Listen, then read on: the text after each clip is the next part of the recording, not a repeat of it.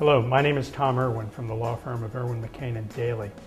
One of the problems that injured workers often experience in the workers' compensation setting is that the injury takes them out of their chosen profession.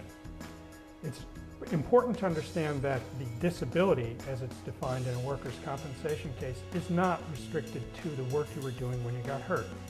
Disability is defined in relationship to work generally.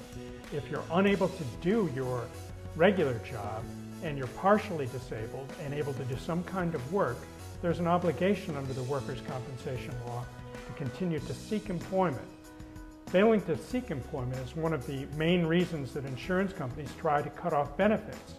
There are certain ways that the Workers' Compensation Board considers appropriate to look for work, and it's one of the pitfalls that you can fall into if you don't have expert representation to guide you through the process of showing that you're looking for work.